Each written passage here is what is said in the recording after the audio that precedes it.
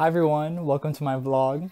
How are y'all doing today? If you're new here, my name is Blue Phoenix. I make plant videos uh, from my found knowledge and I also share this uh, plant vlog on Wednesdays of my daily life and then also what I do as a uh, small business owner uh, of Bleu Lotus Gardens. So if y'all um, like that and are interested in uh, following my little adventure, I recommend subscribing to my channel and seeing what all I do. I link everything down below, so if y'all are interested, just go ahead and check that out.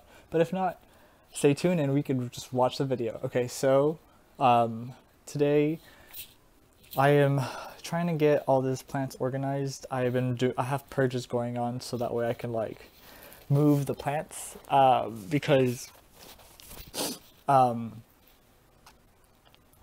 I don't want to move a lot of plants with me to the new to the new place. So it, uh, so I'm trying to reduce them, and I hope they go to. I'm going. I, I'm, and so that they they go to a new a good home as well. Um, let me show y'all. So this is what I'm doing. I'm trying to like clean up everything over here. My little uh, stand is outside. So I'm gonna place some plants over there. If you watch Plant Care Tuesday, we talked about Hoyas. I'm adding a lot of new Hoyas to my site, so I want everybody to uh, know how to um, grow them as well. So that way, because I've I, I've I've been growing them and they're doing pretty well, and so now I can help y'all out if y'all need any questions or have any questions about it. Look at this fiddle leaf fig.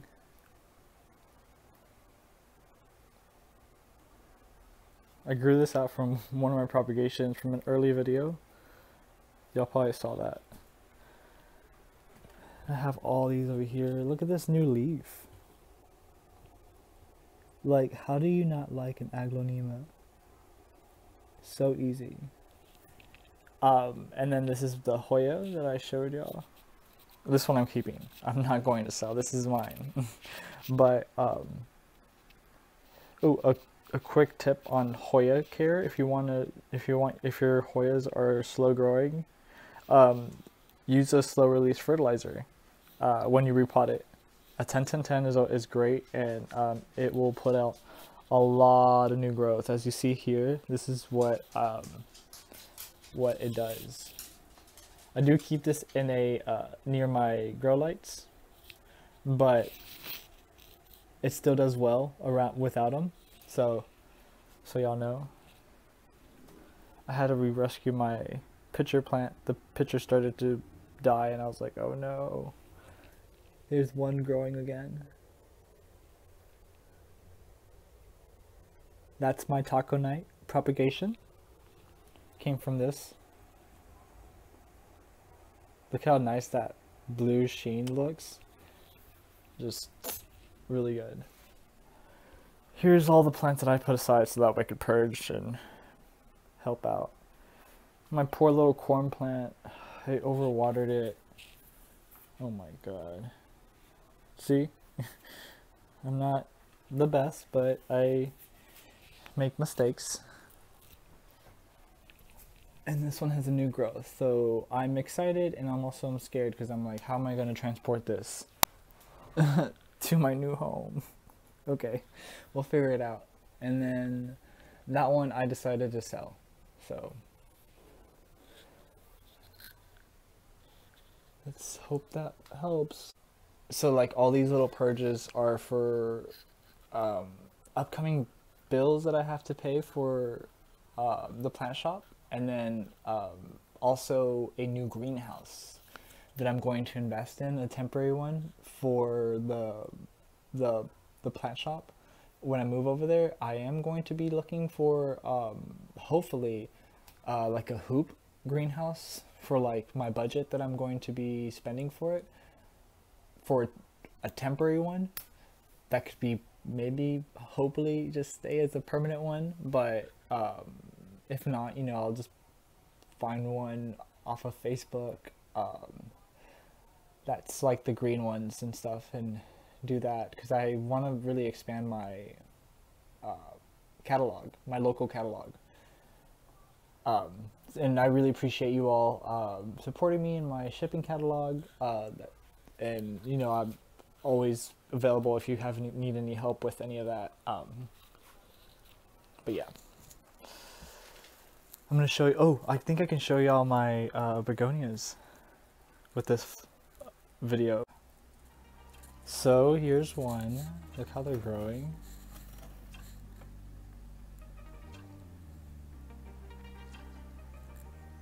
So I have it in this glazed um, pot, and then as you see here, I have it with um, faux uh, sheet moss. It helps retain the moisture, but underneath, if you look underneath, it's like that's how you know if it needs to be watered or not. And it's pretty dry, so I'll have to water that soon.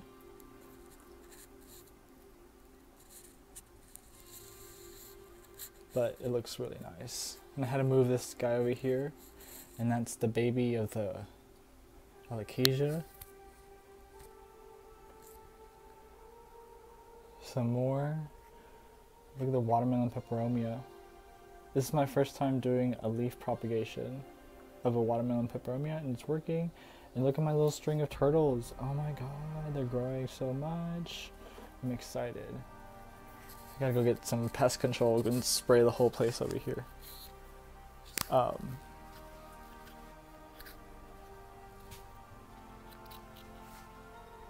some propagations that I have.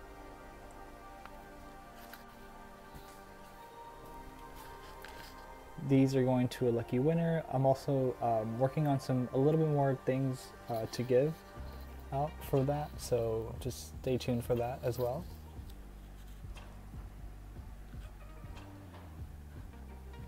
I'm just so proud of this one. I'm letting it grow so that way I can make more propagations from that. I'm excited. And then there's a Rhaphidophora propagation. I think I made like four of them. But yeah. So excited. Okay, so this is my little setup. I have more usually here. Oh no, this one fell. Uh. Okay. No. Whew. They almost fell.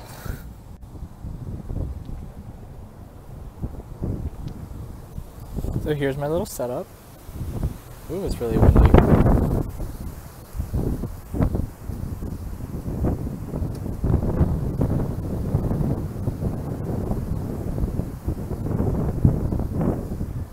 So down there I have uh, just some things that I uh, have on sale or propagating or you know can take with pot. These are like on the right are like freebies, like Guardian freebies, and then on the left some pothos. Oh, this is a uh, rescued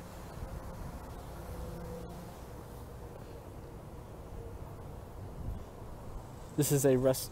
Oh. This is a rescued uh, pitcher plant. Over here, I have some little plants. I have a Hoya, an ivy, Dracaena, herbs. Super simple, super easy. This is my little like fairy angel garden. Just put like begonias here, and uh, I have a little angel here. It's like my little protection, you know. My favorite little plants. I have an ivy right here. Um, there is a little fern in here. Hostas. The little white begonias right in here. They're super adorable. But yeah. let's check out the little propagations that I have.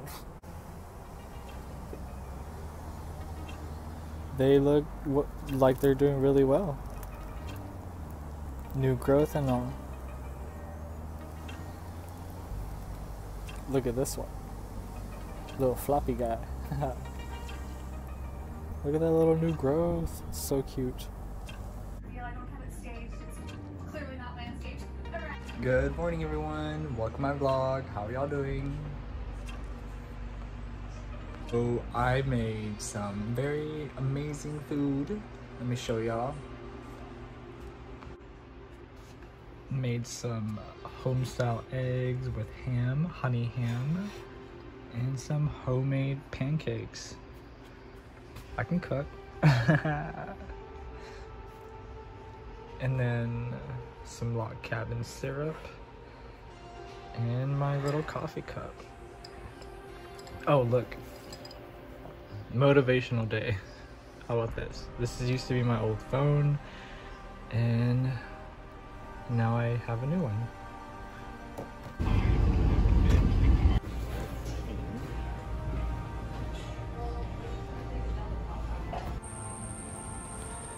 Okay, so I arrived at my client's house and I'm gonna show y'all um, the plants and how they're doing. I don't think one of them survived because they were gone for a while. This is a little sad one, but I'll fix it up for them.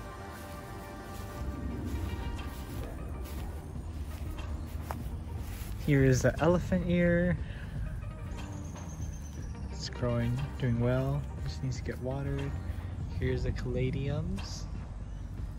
The little agave. The other caladiums are doing pretty well.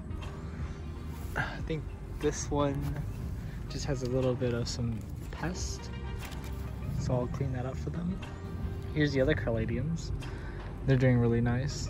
Uh, they put this little border around them. So that's adorable.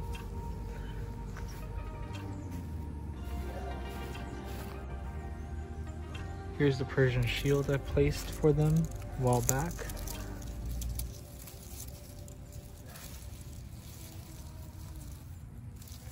I think it just needs to be uh, watered. Some that I brought. This one over here. Just need to trim this up a little bit. I think that's should be fine.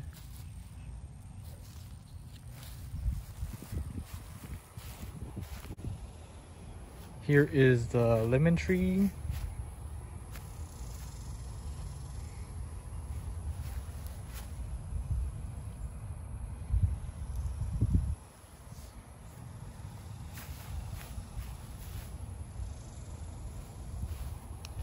And then this is like a little rose bush that I planted for them. It's called Texas rose. That's growing. I placed some cacti and it's growing also. Doing really well there. Just planted this one and these two popped out. Here's these over here.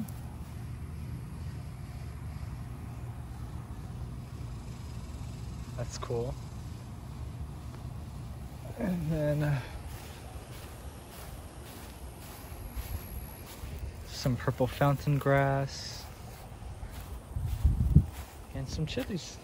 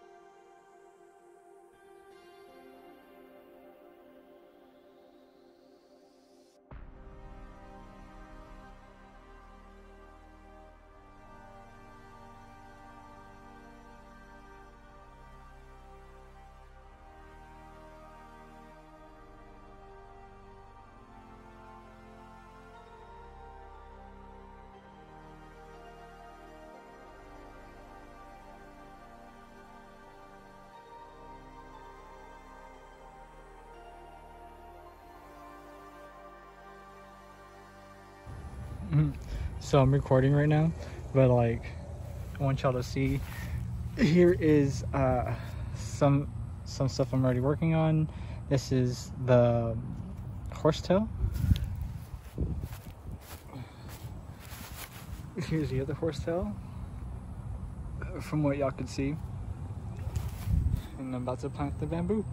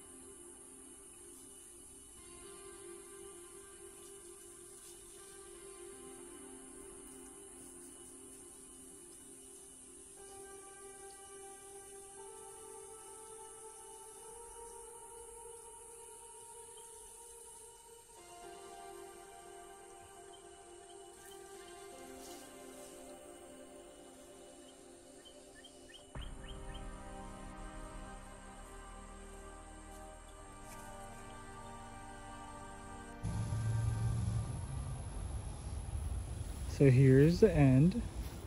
Bye, kitty. There's one bamboo. So if y'all know, um, your care guide for how to, after you plant a bamboo, you need to um, keep it very well watered. So I would recommend um, going out and maybe doing like a topsoil on top of it, like mulching it with, uh, and then watering it, keeping it very hydrated for at least like the first two weeks, get it very well established. And then you have your, um, the horsetail right here and here, which will uh, spread out about four to six inches in diameter. They'll be up to like four feet in height.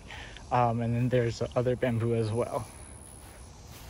Super exciting. I had a little bit of shipping damage, but that's okay.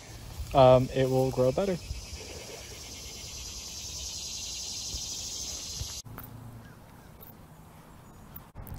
So before I started doing houseplants, I used to work at little stores like this. And I want to share with y'all all my little um, area that I used to work at.